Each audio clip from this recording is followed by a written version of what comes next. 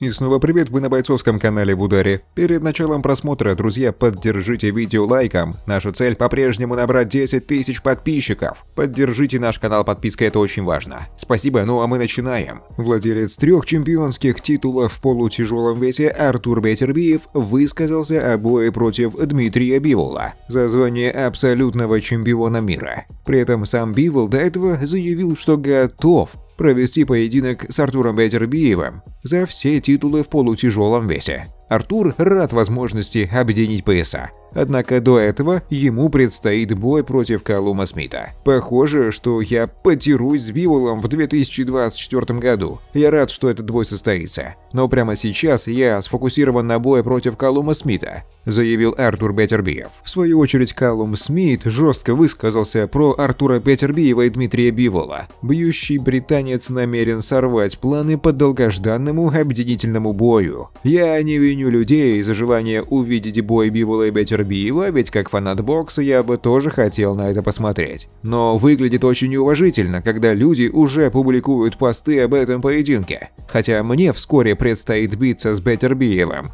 Я уверен в своих способностях и чувствую, что если буду в лучшей форме, то могу победить Артура. В своих лучших кондициях я могу победить кого угодно. Я выиграю Бетербиева, а после встречусь с Биволом, тем самым разрушив планы многих, говорит Каллум Смит. Ну а знаменитый боксерский тренер Роберт Гарсия раскрыл способ победить небитого чемпиона полутяжелой категории Дмитрия Бивола, а также дал прогноз на его бой с Артуром Бетербиевым. Дмитрий уже подписал контракт на бой, а Артуру, в свою очередь, предстоит пройти Калума Смита. Нужно резко наброситься на Бивола. Пожалуй, это, черт побери, единственный способ его победить. Необходимо резко броситься на него и сильно его потрясти. Я думаю, что Бивол выиграет и станет абсолютом, говорит Гарсия. Сейчас много абсолютных чемпионов. Люди хотят драться друг с другом и объединять пояса. Последние несколько лет были удачными в плане объединения поясов в боксе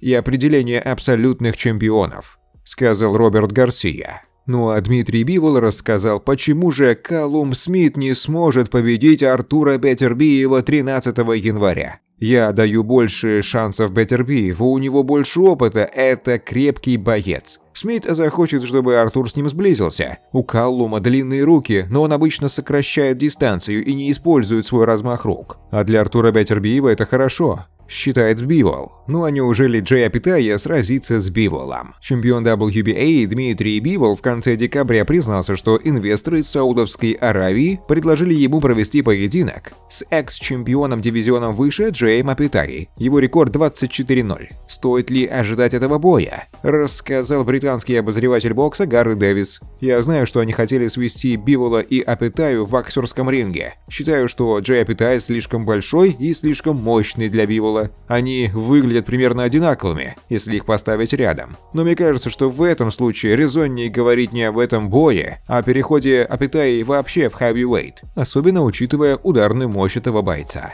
А для Бивола было бы странно принять бой с Апитаей, учитывая, что ему нужен бой за наследие в полутяжах с Артуром Бетербиевым, говорит Гаррет Дэвис. Вот такие вот новости на сегодня, друзья. Пишите в комменты, что вы обо всем этом думаете. Ну а с вами, как всегда, был бойцовский канал в ударе. Подписывайтесь и ставьте пальцы вверх.